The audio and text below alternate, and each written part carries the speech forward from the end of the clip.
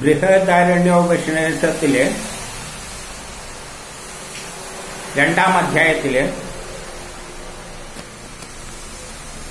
രണ്ടാം ബ്രാഹ്മണം അപ്പൊ ഇതിനു മുമ്പിൽ ഗോശാലനാണ് യജ്ഞവൽക്കനോട് ചിലതെല്ലാം ചോദിച്ചത്. ഇവിടെ യജ്ഞവൽക്കനോട് ആർത്ഥഭാഗം ചില ചോദ്യങ്ങൾ ചോദിക്കാം അങ്ങേര് പോയതിനു ശേഷം ഇങ്ങേര് ചില ചോദിച്ച് ചോദിക്കണം ഗ്രഹങ്ങൾ എത്രയുണ്ട്? അനുഗ്രഹങ്ങൾ എത്രയുണ്ട് എന്ന് ഇപ്പൊ ഗ്രഹം എന്ന് പറയുന്നത് നമ്മുടെ ഇവിടെ പ്ലാനറ്റ് അല്ല ഇവിടെ പറയുന്നത് പ്ലാനറ്റ് അല്ല നമ്മുടെ ശരീരത്തിൽ നമ്മൾ കറങ്ങിക്കൊണ്ടിരിക്കുന്ന ചില കാര്യങ്ങളെല്ലാം. അതാണ് നമ്മളെ ശരീരത്തിന്റെ ഗ്രഹങ്ങൾ. നമ്മുടെ ശരീരത്തിന്റെ അകത്ത് പ്രവർത്തിക്കുന്നത് പോലെ ഗ്രഹങ്ങളുടെ കാരകത്വമുള്ള ചില സ്വഭാവങ്ങൾ ചില ഭാഗങ്ങളെല്ലാം നമുക്കുണ്ട്. അത് നമ്മുടെ പ്രവർത്തനങ്ങളെ നിയന്ത്രിക്കുന്നുണ്ട്. ഗ്രഹങ്ങൾ അതിന്റെ ചില ചില കാരകത്വങ്ങളെല്ലാം നമ്മൾ പ്രവർത്തിക്കുന്നുണ്ട്. അത് നമ്മുടെ ശരീരത്തെ നിയന്ത്രിക്കുന്ന എട്ട് കാര്യങ്ങൾ. അപ്പം പറയാണ് എട്ടെണ്ണം ഉണ്ട് അതിന്റെ എട്ടിന് ഉഭയമുണ്ട് ഉപഗ്രഹങ്ങളുമുണ്ട്. അതേതെല്ലാണെന്ന് പറയാണ്. പതിമൂന്ന് പതിനാല്. പന്ത്രണ്ട് പതിമൂന്ന് പതിനാലിലായിട്ട് പറയുകയാണ് പ്രാണനാണ് ഒരു ഗ്രഹം. ഇങ്ങനെ നമ്മുടെ ശരീരത്തിലെല്ലാം കൺട്രോൾ ചെയ്ത് അങ്ങനെ സഞ്ചരിക്കുകയാണ് പ്രാണൻ. ഗ്രഹങ്ങൾ സഞ്ചരിക്കുന്ന മാതിരി ഈ പ്രാണനും അതിന്റെ സിങ്ക്രണൈസ് ചെയ്തിട്ടാണ് എല്ലാ കാര്യങ്ങളും നടക്കുന്നത്. അത് അപാനനുമല്ലായിട്ടാണ് അതിന്റെ പ്രവർത്തനങ്ങൾ നിയന്ത്രിക്കുക. അപ്പൊ അതിന്റെ ഉപഗ്രഹം എന്ന് പറയുന്ന മാതിരിയുള്ളത് എന്താണ്? അനുഗ്രഹം എന്ന് പറയുന്നത് അപാനനാണ്. അപ്പൊ ഗ്രഹവും അനുഗ്രഹവുമായിട്ട് പറയുകയാണ് പ്രാണന് അപാനനാണ്. രണ്ടാമത്തത് വാക്കാണെന്ന് പറയാണ് വാക്ക് എന്ന് പറയുന്നത് നാമവുമായിട്ട് ബന്ധപ്പെട്ടിട്ടാണ്. ആ വാക്കിൽ നിന്നാണല്ലോ നാമം ഉണ്ടാകുന്നത്. ആ നാമവുമായിട്ട് ബന്ധപ്പെട്ടിട്ട് നമ്മളെ പേരുമായിട്ട് ബന്ധപ്പെട്ടു പോവുകയാണ്. മൂന്ന് ജിഹ്വ എന്നത് പറയുന്നത് രസം. നമുക്ക് പലതരം രസങ്ങളുണ്ടല്ലോ. ആ രസത്തിലൂടെയാണ് അത് പ്രവർത്തിക്കുന്നത്. കണ്ണ് എന്താണ്? രൂപവുമായിട്ട് ബന്ധപ്പെട്ടിട്ട്. കണ്ണ് രൂപങ്ങൾ തിരിച്ചറിച്ച് അതിന്റെ ആയിട്ട് നമ്മളെ ശരീരത്തിൽ ആക്ട് ചെയ്യുകയാണ്.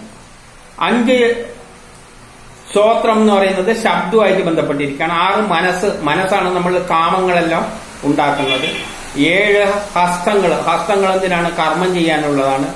എട്ട് തോക്ക് സ്പർശനമെല്ലാം തിരിച്ചറിയാനുള്ളത്. ഇങ്ങനെ എട്ട് ഗ്രഹങ്ങളും അതിന്റെ ഫംഗ്ഷനാണ്. ഉപഗ്രഹമായിട്ട് നമ്മുടെ ശരീരത്തിൽ എന്ത് ചെയ്തുകൊണ്ടാണ് കൺട്രോൾ ചെയ്തുകൊണ്ടിരിക്കുകയാണ്. ഇതെല്ലാം ഒരു ചെറുത് നമുക്കറിയുന്ന കാര്യങ്ങൾ തന്നെയാണ്. ഇപ്പൊ ഇതിനൊന്നും അധികം വ്യാഖ്യാനിക്കേണ്ട കാര്യമില്ല.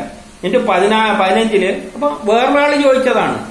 ചില ചില എല്ലാവരും ചോദിക്കുമല്ലോ. ഒരു ചോദ്യോത്തരം ഉണ്ടാകുമ്പോൾ ആരോടെങ്കിലും ഒരു ചോദിക്കാൻ കിട്ടുമ്പോൾ ആരെങ്കിലും എല്ലാം തല്ലോ ചോദിക്കും. പ്രധാനപ്പെട്ട ഒരു കക്ഷി ആദ്യം ചോദിച്ചു പോകും. അത് ചോദിച്ചു പോയി കഴിഞ്ഞിട്ട്. ഇപ്പൊ ഓരോ ഇടക്കിടക്ക് അവരവരുടെ ലെവൽ വെച്ചിട്ടുള്ള സംശയങ്ങൾ തീർക്കുകയാണ്.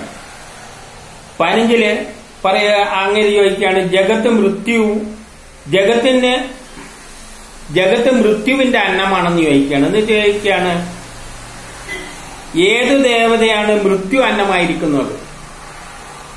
അപ്പം ഈ ജഗത്ത് മൃത്യുവിന്റെ അന്നമാണ്. ഈ മൃത്യു ആരുടെ അന്നമാണെന്ന് ചോദിക്കുകയാണ് അപ്പോൾ ഇയാൾ പറയുകയാണ് മൃത്യു എന്ന് പറയുന്നത് മരണമാണ്. മരണം അത് അഗ്നിയായിട്ട് ബന്ധപ്പെട്ടതാണ്. അഗ്നിയാണല്ലോ കൊല്ലുന്നത്. അപ്പം മൃത്യു എന്ന് പറയുന്ന അഗ്നി തന്നെയാണ്. അഗ്നിയാണല്ലോ എല്ലാത്തിനെയും ദഹിപ്പിക്കുന്നത്.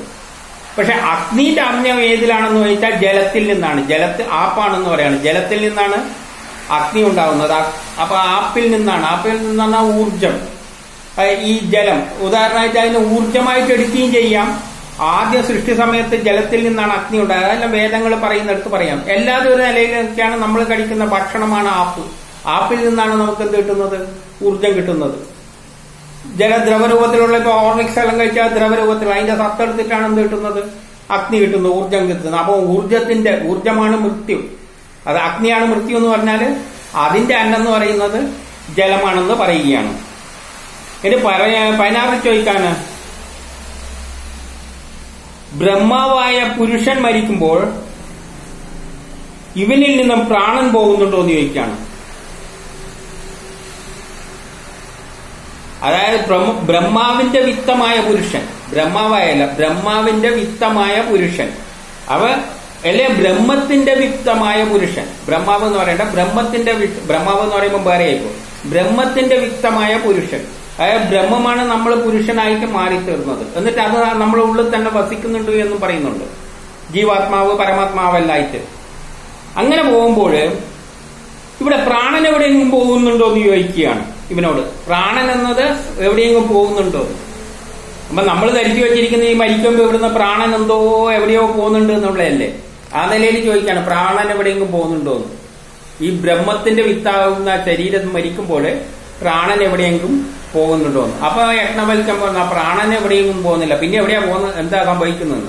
അപ്പൊ പ്രാണൻ പരമാത്മാവിൽ ചേർന്നിട്ട് അവിടെ തന്നെ വീർത്തു വീർത്തങ്ങ് വീർത്ത് അങ്ങ് ഇല്ലാതെയാവും എന്ന് പറയാണ് അല്ല അത് എവിടെയും പോകുന്നൊന്നുമില്ല. ഏതുപോലെ എന്ന് കഴിച്ചു കഴിഞ്ഞാൽ ഗ്രഹങ്ങളാണ് നമ്മളെ ശരീരത്തിന് പ്രാണൻ ഉണ്ടാക്കുന്ന ഒരു ശക്തി വിശേഷം നമ്മളുടെ പ്രാണൻ ജനിപ്പിക്കുകയാണ്. ഏതുപോലെ എന്ന് പറഞ്ഞാൽ നേരത്തെ ഞാൻ ഒരു ഉദാഹരണം പറഞ്ഞിട്ടുണ്ട്. അത് എന്റെ ഉദാഹരണമാണ്. ഒരു ടോർച്ച് ചുമരനടിച്ചു കഴിഞ്ഞാൽ അതേ തറയിൽ അടിച്ചു കഴിഞ്ഞാൽ നമുക്ക് നടക്കാം. ആ വെളിച്ചം കൊണ്ട്. ടോർച്ച് ഓഫാക്കുമ്പോ ആ വെളിച്ചം അവിടെ നിന്ന് തിരിച്ചിങ്ങ് വന്നോ എന്ന് ചോദിച്ചു കഴിഞ്ഞാൽ തിരിച്ചു വരുന്നൊന്നും ഇല്ല. അപ്പൊ ഇലക്ട്രിസിറ്റി ഇപ്പൊ ഇലക്ട്രിസിറ്റി വരുന്നത് അങ്ങ് മറ്റേ ഇടുക്കിയിൽ ഡാമിൽ നിന്നെല്ലാണ് അവിടെ സ്വിച്ച് ഇടുമ്പോഴാണ് ഇലക്ട്രിസിറ്റി വരുമ്പോൾ അവിടെ സ്വിച്ച് ആക്കുമ്പോൾ ഈ ഇലക്ട്രോൺ എല്ലാം അങ്ങോട്ട് ഓടുന്നുണ്ടോ എന്ന് ചോദിച്ചു കഴിഞ്ഞാൽ അങ്ങനെ ഓടുന്നൊന്നുമില്ല. അവന് പ്രാണൻ ഗ്രഹങ്ങളിൽ നിന്നുള്ള ചില സ്വാധീനങ്ങൾ കൊണ്ട് നമ്മൾ ജനിപ്പിച്ചിട്ട് മരിക്കുമ്പോൾ ഇതെവിടെയും പോകണമെന്നൊന്നുമില്ല ടോർച്ച് അടിച്ചാൽ ആ ലൈറ്റ് തിരിച്ചിങ്ങോട്ട് അതേപോലെ ഇങ്ങോട്ട് വരുന്നുണ്ട്. ഇല്ല. അവരിയെ ഉള്ളെന്ന് പറയാണ്. അപ്പൊ ഇത് അങ്ങനെ എവിടെയും പോകുന്നൊന്നും ഇല്ല. ഇവിടെ തന്നെ അങ്ങ് ചേർന്ന് അങ്ങ് പോകും. ഇല്ലാതെയോ അല്ലാതെ ഇത് കയറി മാറിയടി അങ്ങ് പോകുന്ന പരിപാടിയൊന്നും ഇല്ലാന്ന് ഇവിടെ വ്യക്തമായി പറയുന്നു. നമ്മളെല്ലാം പറയുന്നത് എന്താന്ന് വെച്ചാൽ ഇതിങ്ങനെ ആകാശത്ത് കിടന്ന് അലഞ്ഞു തിരിയുന്നെല്ലാം പറയാണ്. അതൊന്നും ഇല്ലാന്ന് പറയാണ്. ഇത് പതിനേഴ് ചോദിക്കാണ് പുരുഷൻ മരിക്കുമ്പോൾ ഇവനെ വിട്ടുപിരിയാത്തത് ഏതാണെന്ന്. ഇവനെ വിട്ടുപിരിയാത്തത് ഇവന്റെ പേരാണെന്ന് നാമാണെന്ന്. ആൾ മരിച്ചാലും നമ്മൾ പറയല്ല ഇന്നൊരാളാടി ഉണ്ടായിരുന്നു. ഇപ്പൊ ഗാന്ധിജി മരിച്ചു. നമ്മൾ ഗാന്ധിജി ഗാന്ധിജി എന്ന് പറയുന്നില്ലേ? അത് ഈ ആകാശത്തിൽ അങ്ങ് ലയിച്ച് ഏരിയാണെന്ന് എല്ലാം പറഞ്ഞു പോവുകയാണ്. ഇത് ചോദ്യം കുറച്ച് താണ ലെവലിലുള്ള ചോദ്യത്തിലേക്ക് വരികയാണ്. പക്ഷെ അതിലും പ്രാധാന്യമുണ്ട്. നമ്മൾ മരിച്ചു കഴിഞ്ഞാൽ ആത്മാവ് എവിടെയോ പോകുന്നതെന്ന് ചിന്തിക്കുന്നുണ്ട്. പതിനെട്ടിൽ എന്ത് ചെയ്യാണ്? നമ്മുടെ കണ്ണും മൂക്കും എല്ലാം സൂര്യനിലും അതിലും എല്ലാം മരിച്ചു കഴിയുമ്പോൾ ലയിക്കുന്നു എന്ന് പറയണം. ലയിക്കും എന്ന് പറഞ്ഞാൽ അതുമാതിരിയാണ്. ടോർച്ചിലെ വെളിച്ചം അടിച്ചു കഴിഞ്ഞാൽ ടോർച്ചിലേക്ക് തിരിച്ചു വരുന്നതല്ല അതായത് സൂര്യങ്ങളും ഗ്രഹങ്ങളും എല്ലാം നമ്മുടെ ശരീരത്തിൽ ആക്ട് ചെയ്യുന്നുണ്ട്. മരിച്ചു കഴിയുമ്പോൾ ഇന്ത്യയിൽ ആക്ട് ചെയ്ത് നിൽക്കുക എന്ന് പറഞ്ഞാൽ ഇതെല്ലാം തിരിച്ചു പോകുന്ന മാതിരി അങ്ങനെ പറഞ്ഞു ഇതെല്ലാം അങ്ങനെ ഓരോന്നുമായിട്ട് അങ്ങ് താതാത്മ്യം പ്രാപിക്കുന്നു പറഞ്ഞിട്ട്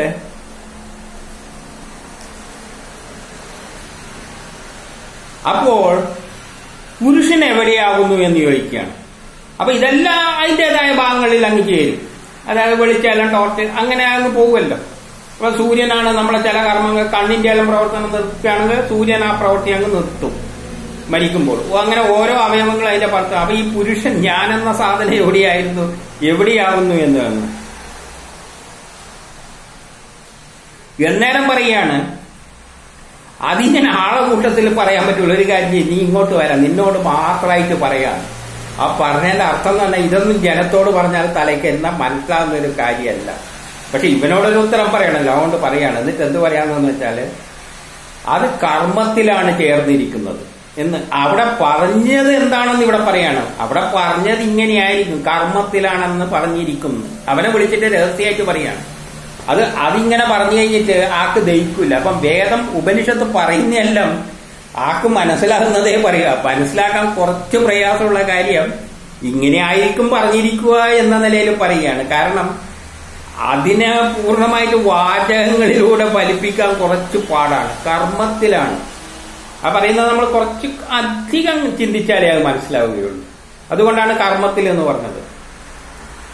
ഒരാളെ ഒരു കർമ്മം ചെയ്- ചെയ്യിപ്പിക്കുവാൻ വേണ്ടി ഇപ്പൊ എന്നെ കൊണ്ടൊരു വീട് കെട്ടിപ്പിക്കാനാണ് ബ്രഹ്മം ആഗ്രഹിക്കുന്നതെങ്കിൽ ആ ബ്രഹ്മം എന്നെ ജനിപ്പിക്കുന്നതിനാണ് ഈ വീട് കെട്ടാൻ വേണ്ടിയുള്ള കർമ്മത്തിനാണ്. വീട് കെട്ടുന്നതോടുകൂടി എന്തായി? കർമ്മവും ഇല്ലാതായി ഞാനും ഇല്ലാതായി. ഇപ്പൊ ആ എന്റെ കർമ്മം തന്നെയാണ് വീട്ടിലുള്ളത്. ഇപ്പൊ യഥാർത്ഥത്തിൽ വീട് കെട്ടാൻ വേണ്ടിയാണ് എന്നെ ജീവി ജനിപ്പിച്ചത്. ഞാൻ വീട് കെട്ടാൻ അവർ കർമ്മത്തിന് വേണ്ടിയാണ് എന്നെ ജനിപ്പിച്ചത് ആ കർമ്മം തീരുന്നതോടുകൂടി ഞാനും ഇല്ലാതെ അപ്പൊ എവിടെ പോയി എന്ന് ചോദിച്ചു കഴിഞ്ഞാൽ ആ അതങ്ങനെയാണ്. വെടിക്ക് എങ്ങനെയോ ഊഹിച്ചോ എന്നുള്ള നിലയിൽ വിട്ടിരിക്കുകയാണ്. അതായത് നമ്മളെ ജയിപ്പി ജനിപ്പിക്കുന്നത് കർമ്മത്തിന് ഒരു കർമ്മം ചെയ്യുവാൻ വേണ്ടി നമ്മളെ ഇങ്ങനെ ഉണ്ടാക്കിയാണ്. എന്നിട്ട് നമ്മളെ കൊണ്ട് ആ കർമ്മം ചെയ്യിപ്പിക്കുകയാണ് കർമ്മം തീരുമ്പോൾ നമ്മളും അപ്പുറത്തെ പിന്നെ നമ്മളെ പ്രശസ്തി അവിടെ ഇല്ല. അപ്പൊ എവിടെ പോയി എന്ന് ചോദിച്ചു കഴിഞ്ഞാൽ ആ കർമ്മത്തിലൂടെ നമ്മൾ ഓർത്തോളൂ അങ്ങേയറ്റത്തെ ഇപ്പൊ ഗാന്ധിജീനെ നമ്മൾ ഓർക്കുന്നത് എങ്ങനെയാണ്? ഗാന്ധിജി എവിടെ പോയി എന്ന് ചോദിച്ചാൽ അതിന് ഉത്തരവൊന്നുമില്ല. നേരെ ടോർച്ച് അടിച്ചാൽ ലൈറ്റ് എവിടെ പോയി എന്ന് ചോദിച്ചാൽ തിരിച്ച് ലൈറ്റ് അവിടെയുള്ള ലൈറ്റ് ഇങ്ങനെ ടോർച്ചിൽ വന്നു എന്ന് ചോദിച്ചാൽ ഒന്നുമില്ല അപ്പൊ അതിന്റെ ഉള്ള ഉത്തരം എന്താ പറയുക? ഒരു ഗാന്ധിജി എവിടെ പോയെന്ന് ചോദിച്ചോളൂ. പക്ഷെ നാമം എവിടെയുണ്ട്? അവിടെയുണ്ട്. അത് എവിടെ പോയി എന്ന് ചോദിച്ചു കഴിഞ്ഞാൽ ഗാന്ധിജീന്റെ ആ കർമ്മം തന്നെയാണ് നമ്മൾ ഇന്ന് നമ്മളെ മനസ്സിൽ ഉള്ളത് എന്ന് പറയുകയാണ്. പക്ഷെ അത് രഹസ്യമായിട്ട് പറയുകയാണ്. അങ്ങനെ എല്ലാരോടും പറഞ്ഞിട്ട് വെറുതെ ആശയക്കുഴപ്പമുണ്ടാക്കാൻ ഉപനിഷത്ത് തയ്യാറാകും ഉപനിഷത്ത് ഒരു കാര്യം പറയുന്നുണ്ടെങ്കിൽ അത് എല്ലാവർക്കും ബോധ്യമാകണം. പക്ഷെ ഈ ഒരു ചോദ്യത്തിന് ഉത്തരം പറയേണ്ടതുകൊണ്ട് രഹസ്യമായിട്ട് പറഞ്ഞാൽ ഇങ്ങനെ ആയിരിക്കും പറഞ്ഞെന്ന് പറഞ്ഞാൽ ഊരിക്കളഞ്ഞു. ഇനി നിങ്ങൾ സ്വയം ചിന്തിച്ചോളൂ. എന്റെ മൂന്നാം ബ്രാഹ്മണത്തിലേക്ക് പറയുന്നു. വേ മൂന്നാം ബ്രാഹ്മണത്തിൽ വേറൊരാൾ. അപ്പൊ അയാൾക്കെല്ലാം മതിയായിട്ട് അയാൾ പോയി. പിന്നെ വേറൊരാൾ യജ്ഞവൽക്കനോട് ചോദിക്കുകയാണ്. മദ്രദേശത്തെ ചരകന്മാരായി ഞങ്ങൾ സഞ്ചരിച്ചിരുന്നു. ഋത്തിക്കുകളായിട്ട് അപ്പൊ ഭൃഗു പറയാണ് നമ്മൾ മദ്ര ഇന്ന് ഒരു ദേശത്ത് ഇങ്ങനെ സഞ്ചരിക്കുമായിരുന്നു അപ്പൊ അവിടെ ആ രാജാവിന്റെ ഒരു പുത്രിക്ക് ഗന്ധർവൻ പിടിപെട്ടു. അപ്പൊ ഗന്ധർവനോട് നമ്മൾ ചോദിച്ചു നീ ആരാണെന്ന്? നമ്മൾ ചോദിച്ചു. അവ അങ്കീരസനായ സുദധ്വനാമാണെന്ന് പറയുന്നു. എന്റെ അവനോട് ലോകത്തിലെ ലോകത്തിന്റെ അതിരേതാണെന്നും പാരിഷിതന്മാർ എവിടെ എന്നും ചോദിച്ചു. അവൻ അതിന് ഉത്തരം നൽകി. അപ്പൊ ഗന്ധർവനോട് ചോദിച്ചു ഈ ലോകത്തിന്റെ അതിരേതാണെന്ന് ഇവൻ ആരാണെന്ന് ചോദിച്ചു? അങ്കീരസുകളിൽ പെട്ടതാണെന്ന് പറഞ്ഞു. എന്നിട്ട് അവ ഈ ലോകത്തിന്റെ അതിരേതാണെന്ന് ചോദിക്കുന്നു? അന്നേരം അവനൊരു അതിര് പറഞ്ഞു തന്നു. എന്നിട്ട് പാരിഷിതികൻ ആരാണെന്ന് ചോദിച്ചു. അതിനെല്ലാം പരിരക്ഷിക്കുന്നവരാരാണെന്ന് ചോദിച്ചു. അതിനുള്ളൊരു ഉത്തരവ് അവൻ തന്നു. അതിന്റെ ഉത്തരവൊന്ന് നീ പറഞ്ഞാന്ന് പറയാണ് ആര്? അങ്കീരസനോ അല്ല യജ്ഞവൽക്കനോട് അപ്പൊ യജ്ഞവൽക്കൻ പറയാണ് അപ്പൊ അത് പറയുന്നതിനെക്കാട്ടി മുമ്പിൽ നമ്മൾ ഈ പറഞ്ഞതിന്റെ ഒരു അർത്ഥത്തിലേക്ക് കടന്നിട്ട് പോകാം. ഒരു പെൺകുട്ടിയോട് പെൺകുട്ടിയിൽ ബ്രഹ്മ ആരാണ് കൂടിയിരിക്കുന്നത്? ഗന്ധർവൻ കൂടിയിരിക്കുകയാണ്. ഈ പെൺകുട്ടികളിലാണ് ഈ ഗന്ധർവൻ കൂടുന്നത്. എന്താണ് ഈ ഗന്ധർവൻ കൂടുക എന്ന് പറയുമ്പോഴെന്ന് വെച്ചാൽ ഒരു പ്രായത്തുമ്പോൾ പെൺകുട്ടികൾ ദിവാസ്വപ്നം കൊണ്ട് ഇരിക്കുന്ന ഒരു അവസ്ഥയുണ്ട്. അതാണ് ഗന്ധർവ അവക്ക് ഗന്ധർവം കൂടിയിരിക്കുകയാണെന്ന് പറയും.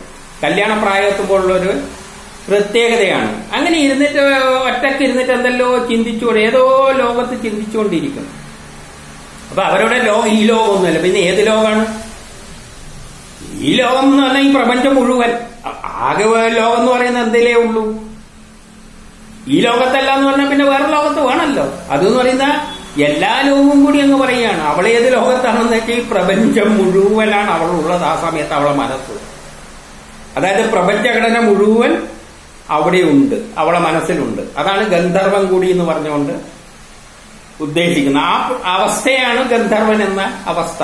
അത് ഗ്രഹങ്ങളാണ് അവളിൽ ഒരു ചിന്താഗതി അതിൽ ഉണ്ടാക്കുന്നത്. ഇപ്പൊ ഗ്രന്ഥർവൻ എന്ന് പറഞ്ഞാൽ വേറെ ഏത് കഥയിൽ വരുമ്പോൾ കണ്ണു മൂക്കുമല്ലും പറ്റും. അത് വേറെ കാര്യം. ആ അവസ്ഥ മാനസിക അവസ്ഥയാണ്. അത് ഗ്രഹങ്ങൾ ഉണ്ടാക്കുന്നതാണെന്നെല്ലാം ചിന്തിച്ചാൽ മതി. അപ്പൊ ആ അവസ്ഥയിൽ അവളുടെ ചിന്ത എന്ന് പറഞ്ഞാൽ ലോകം മുഴുവൻ. ഈ ലോകത്തെയാണ് നമ്മൾ എന്തായിട്ട് ചിത്രീകരിച്ചത്? അശ്വമേധമായിട്ട് ചിത്രീകരിച്ചത്. അശ്വമായിട്ട് ആ ഒരു വലിയ കുതിരയായിട്ട്. വിരാട പുരുഷൻ എന്ന് പറഞ്ഞാൽ ബ്രഹ്മ അടക്കമുള്ളതാണ്. ബ്രഹ്മം പ്രപഞ്ചമായി മാറിയതിന്റെ ശേഷം ബ്രഹ്മമടക്കമുള്ളതാണ് വിരാട പുരുഷൻ അതാ നേരത്തെ പറഞ്ഞതാണ്. അത് കഴിഞ്ഞ് പ്രപഞ്ചമായി മാറുന്നതിനാണ് ഒരു കുതിരയായിട്ട് കാരണം ഈ മൃത്യുവിനെ തിന്നാൻ വേണ്ടിയിട്ട് വളർത്തിയാണ് ഈ ലോകത്തെ. അപ്പൊ ഈ പ്രപഞ്ചമാണ് അവിടെ ഒരു കുതിരയായിട്ട് ചിത്രീകരിച്ചത്. അപ്പൊ ഈ കുതിരന്റെ കാര്യം തന്നെയാണ് ഇവിടെയും പറയുന്നത്. ഇവിടെ ചിന്തിക്കുന്ന ഏതാണ്? ഈ പ്രപഞ്ചഘടനയാണ്. അതായത് ഈ കുതിരനെ പറ്റിയാണ്. ആ കുതിരേനെ ഉണ്ടാക്കിയെന്ന്. എന്നിട്ട് പറയുന്ന അശ്വമേധം കൊണ്ടത് യജിക്കുന്നവർ പോകുന്നത് അവിടെ എവിടെ പോയി എന്നാണ്. അതായത് ഈ പ്രപഞ്ചത്തിന്റെ ഘടന അശ്വമേധം തന്നെ ഈ കുതിരന്റെ രൂപം തന്നെയാണ്. അതിന് അതും അതിനെ പരിപാലിക്കുന്നവരെല്ലാം എവിടെ പോയി എന്നാണ് ഈ ചോദ്യം എന്ന് പറയുന്നത് ഈ ലോകം മുപ്പത്തിരണ്ട് ദേവരഥങ്ങൾ രഥങ്ങൾ കൂടിയതാണ്. അപ്പൊ ഈ ലോകം എന്ന് പറയുന്ന ലോകത്തിന്റെ ഘടന അവൻ പറഞ്ഞു കൊടുക്കുകയാണ്. ഈ ലോകത്തിന്റെ ഘടന ഒരു മുപ്പത്തിരണ്ട് ദേവരഥങ്ങൾ കൂടിയതാണെന്ന് പറയുന്നുണ്ട്. ഒരു മുപ്പത്തിരണ്ട് കൊണ്ട് ബന്ധിപ്പിച്ച ഒരു സാധനമാണിത്. ഇത് പാതാള ലോകമാണ്. അത് നമുക്കിപ്പം പറഞ്ഞാൽ മനസ്സിലാവില്ല. അത് വേദങ്ങളിലെ ലോകങ്ങളെപ്പറ്റി ഈ ഏഴ് ഇരേഴ് പതിനാല് ലോകങ്ങളെ പറ്റി പറയുന്നിടത്ത് വ്യക്തമായി സയൻസിലോട്ട് പറയും. ഇവിടെ പറഞ്ഞിട്ടില്ലല്ലോ. പിന്നെ അതിലേക്ക് കടന്നു കഴിഞ്ഞാൽ പിന്നെ ഈ കഥയങ്ങ് പോകും. അല്ല അതാതിന്റെ സ്ഥലത്ത് പറയാം. അല്ലെ? റെപ്പറ്റീഷൻ വരും. ഇവിടെ അങ്ങനെ വിസ്തരിച്ചൊന്നും സയൻസ് ഒന്നും പറയുന്നതല്ല ഉപനിഷത്ത്. അത് പാതാള ലോകം. അതിന്റെ രണ്ട് മടങ്ങ് അതെല്ലാം കൂടിയതാണ് ഭൂമി ഭൂമിയും. അതിന്റെ രണ്ട് മടങ്ങ് കൂടിയതാണ് ഭൂമിയും. അതിന്റെ ഭൂമി എന്ന് പറയുമ്പോൾ ഇതിന്റെ മുമ്പിലുള്ള അന്തരീക്ഷവും കൂടിയതാണ് ഭൂമി. അപ്പൊ രണ്ട് മടങ്ങുണ്ട്. അപ്പൊ എല്ലാം കൂടിയത് എന്തായി? പാതാള ലോകത്തിന്റെ മുകളിലുള്ളതാണ് ഭൂമി. രണ്ട് ലോകവും കൂടിയത്. അന്തരീക്ഷം അടക്കമുള്ളത്. രണ്ട് മടങ്ങുണ്ട് എന്ന് പറയാണ് അപ്പൊ അത്. അതാണ് കുതിരനെ വർണിക്കുകയാണ്. ഏത്? അശ്വമേധത്തിൽ അത് ആ കുതിരേന. നമ്മൾ കുതിര എന്നും പറഞ്ഞു നടക്കും അത് വേറെ കാര്യം. അതിന് ചുറ്റും രണ്ട് മടങ്ങ് സമുദ്രമുണ്ട്. അപ്പൊ അതിന്റെ ചുറ്റും വേറെ സമുദ്രമുണ്ട്. അത് വലിയൊരു സമുദ്രമുണ്ട്. ആ സമുദ്രത്തിൽ നമ്മൾ ഏഴ് സമുദ്രങ്ങൾ അവിടെ പറയുന്നുണ്ട്. പ്രപഞ്ചഘടന മനസ്സിലാക്കുമ്പോഴേ അത് മനസ്സിലാക്കുകയുള്ളൂ. അതെല്ലാം വേദങ്ങളിലെ പ്രപഞ്ചഘടന പറയുന്നിടത്ത് പറയും. അങ്ങനെ പതിനാല് ലോകത്തിന്റെ വേറെ രൂപത്തിൽ പറയുകയാണ്. എന്നിട്ട് ഈ ഇടയ്ക്ക് ആകാശം എന്ന് പറയുന്നത് ഒരു ഈച്ചയുടെ തോൽ തോലുമാതിരിയാ ഉള്ളുന്ന. തോലുമാതിരിയേ ഉള്ളു അപ്പൊ ഈ ആകാശം എന്ന് നമ്മൾ ഉദ്ദേശിക്കുന്നത് കുറച്ച് കനത്തിലേ ഉള്ളൂ. അതിന്റെ അപ്പുറമാണ് എന്തുള്ളത്? വേറെ ലോകമെല്ലാം ഉണ്ട് സമുദ്രങ്ങളെല്ലാം ഉണ്ട് അപ്പം ഭൂമിയായിട്ടും അതിന്റെ മുകളിലുള്ള ആകാശമായിട്ട് കമ്പയർ ചെയ്യുമ്പോൾ നമ്മൾ ഈ പറയുന്ന ചിന്തിക്കുന്ന കാണുന്ന ആകാശം എന്നത് ഒരു ഈച്ചയുടെ തോൽ പോലെ ചിറകിന്റെ കനം മാത്രമേ അത്ര ആ റേഷ്യോയിലേ ഉള്ളൂ എന്ന് പറയുന്നു. ഈ ദേവതകളെല്ലാം ഈ പ്രപഞ്ചത്തിനൊപ്പം പ്രപഞ്ചം സൃഷ്ടിച്ചു. അപ്പൊ എല്ലാ ദേവതകളും കൂടിയിട്ട് ഈ പ്രപഞ്ചത്തെ സൃഷ്ടിച്ചിട്ട് അതിനെ മുഴുവൻ പരിപാലിക്കുന്ന എന്താണ്? വായുവാണ്. അത് ഇതിനെല്ലാം ചുറ്റിപ്പറ്റി നിൽക്കുന്നത് വായുവാണ്. അപ്പൊ വായുവാണ് ഇതിന്റെ ആധാരം. അതാണ് ഇവിടെ എന്ത് എന്ന് പറയുന്നത്? ഈ ലോകത്തിൽ മുഴുവൻ വ്യാപിച്ചിട്ട് പരിപാലിക്കുന്നത് അതാണ് പാരിഷിതൻ പാരിഷിതൻ എന്ന് പറയുന്നത് ഈ വായുവാണെന്ന് പറയാണ് ഇപ്പം വായു എന്ന് പറയുമ്പോൾ നമ്മൾ ഗ്യാസ് എന്ന മീനിങ്ങിൽ മാത്രം എടുക്കരുത്. ഈ ശൂന്യമായ സ്ഥലത്തിന് എല്ലാം വായുവിന്റെ അവസ്ഥയാണുള്ളത്. വായു എന്ന് പറയുമ്പോൾ ഒരവസ്ഥയാണ് സൂചിപ്പിക്കുന്നത്. കുറച്ച് ഇവിടെ ഉണ്ടാവും കുറച്ച് അങ്ങോട്ടുണ്ടാവും. അപ്പം വായു പലയിടത്തായിട്ടുണ്ടാവും അപ്പൊ അതിന്റെ ഇടക്കെല്ലാം ഗ്യാപ്പ് ഉണ്ടാവും നമ്മളൊരു ആറ്റം എന്ന് പറയുമ്പോൾ ആറ്റത്തിന്റെ അകത്ത് മുഴുവൻ ഇലക്ട്രോണും പ്രോട്ടോണും ആണോ എന്ന് പറഞ്ഞാൽ അതിന്റെ അകത്ത് മുഴുവൻ ശൂന്യ സ്ഥലമാണ് അതുപോലെ തന്നെ വായു എന്ന് പറയുമ്പോൾ ചിലയിടത്തെല്ലാം വായു ഉണ്ട് അതിന്റെ ഇടക്കെല്ലാം ഇത് സൂര്യ. പക്ഷെ എല്ലായിടത്തും വ്യാപിച്ചു കിടക്കുന്ന ഒരു സാധനം എന്ന് പറയുന്നത് വായുവാണെന്ന് പറയുകയാണ്. അപ്പൊ വായുവാണ് ഇതിന്റെ പാരീക്ഷിതൻ എന്ന് വിവരിച്ചു കൊടുത്തു. അപ്പൊ ഗന്ധർവ ലോകം ഏതാണെന്ന് പറഞ്ഞു അതായത് പ്രായപൂർത്തിയായ പെൺകുട്ടി അങ്ങനെ ഇരുന്ന് ചിന്തിക്കുന്ന ലോകം അവൾ ഏതുവരെ പോവാന്ന് വെച്ചാൽ ഈ പ്രപഞ്ചത്തിൽ മുഴുവൻ പോവാ. അതിന്റെ ഘടനയാണ്. അതിനെയാണ് കുതിര അശ്വമേധായിട്ട് ചിത്രീകരിച്ചുകൊണ്ട് അതിലുള്ള എല്ലാ ഗ്രഹങ്ങളെ പറ്റിയെല്ലാം ഘടന ഒരു ചെറുങ്ങനെ ഒന്ന് ഘടനയെല്ലാം വിവരിച്ചിട്ട് അതിനെയെല്ലാം പരിപാലിക്കുന്ന അതെല്ലാം നിൽക്കുന്നത് വായുവിലാണെന്ന് പറഞ്ഞുകൊണ്ട് ഈ വായുവാണ് പാരിഷിതൻ എന്ന് പറഞ്ഞു കൊടുക്കുകയാണ്. ഇതിന്റെ ഇരുപത്തൊന്ന് ഇരുപത്തിരണ്ടിൽ നാലാം ബ്രാഹ്മണത്തിൽ ഈ ബ്രഹ്മം വേറൊരാൾ ഉഷസദൻ വേറെ ചോദിച്ചു ഈ ബ്രഹ്മം എവിടെയാണുള്ളത്? ഇവർക്കെല്ലാം പിന്നെ ചോദിച്ചാൽ ആകെ ചോദിക്കാനുള്ള ഈ ബ്രഹ്മത്തെയാണ്. എന്നേരം പറയുന്നത് നിന്റെ ഉള്ളിന്റെ ഉള്ളിൽ കിടക്കുന്നതാണ് ബ്രഹ്മം എന്ന് പറയാണ്. പിന്നെ അഞ്ചാം ബ്രാഹ്മണത്തിൽ കഹോലൻ എന്നൊരാൾ ചോദിച്ചു എല്ലാ വിധാനങ്ങളെയും മറികടക്കുവാനുള്ള വഴി എന്താണെന്ന്? അപ്പൊ നമ്മളെ എല്ലാ വികാരങ്ങളെയും മറികടക്കാൻ ഈ ബ്രഹ്മത്തെ തിരിച്ചറിയുക എന്ന് പറയുന്നു. ഇതിന്റെ ആറാം ബ്രാഹ്മണത്തിലെ അപ്പ് ഏതിൽ നിന്ന് ചോദിക്കുന്നു? അപ്പുകൾ ജല ഏതിൽ നിന്ന് ചോദിക്കണം അത് വേറൊരു കക്ഷി ചോദിക്കുകയാണ്. ഗാർഗി ചോദിക്കുകയാണ്. അപ്പൊ യജ്ഞവൽക്കം വരുന്നത് വായുവിലാണ്. വായു ഏതിലാണ് ഉള്ളതെന്ന്? ആദിത്യ ലോകത്തിലാണ് ആദിത്യ ലോകം എവിടെയാന്ന് ചോദിച്ചാൽ ചന്ദ്രലോകത്തിലാണ്. ചന്ദ്രലോകം എന്ന് ചോദിച്ചാൽ എവിടെയാണ്? നക്ഷത്രലോകം. നക്ഷത്രലോകം എന്ന് ചോദിച്ചാൽ ഇന്ദ്രലോകം. ഇന്ദ്രലോകം എന്ന് ചോദിച്ചാൽ ബ്രഹ്മലോകം. ബ്രഹ്മലോകം ഏതിൽ നിന്നെന്ന് ചോദിച്ചാൽ? അല്ല പ്രജാപതി ലോകം. പ്രജാപതി ലോകം ഏതിൽ നിന്ന് നോക്കിയാൽ ബ്രഹ്മലോകം. ഇവിടെ ബ്രഹ്മത്തിൽ നിന്ന് നമ്മളെ ഈ അവസാനം ജലം വരെ ഉണ്ടായ ക്രമം വിവരിക്കാണ്. ബ്രഹ്മമാണ് പ്രപഞ്ചമായി മാറിയത്. പ്രപഞ്ചം പല ലോകങ്ങളായിട്ട് മാറി. അതിന്റെ അകത്ത് നിന്ന് എന്തായി? സൂര്യയന്ത്രന്മാരുണ്ടായി. സൂര്യയന്ത്രന്മാരിൽ നിന്ന് വായു ഉണ്ടായി പിന്നെ അതിന്റെ അടിയിൽ ജലമുണ്ടായി. ഇങ്ങനെയെല്ലാം അങ്ങ് പറഞ്ഞ് പ്രപഞ്ചം ഉണ്ടായ എല്ലാം ഒരു ചുരുക്കി പറയാണ്. ഇതെല്ലാം നമ്മൾ പലപ്പോഴും പറഞ്ഞുകൊണ്ട് അതിനൊന്നും അധികം വ്യാഖ്യാനിക്കുന്നത് ഇനി നമുക്ക് ഏഴാം ബ്രാഹ്മണ്യത്തിലേക്ക് കടക്കാം.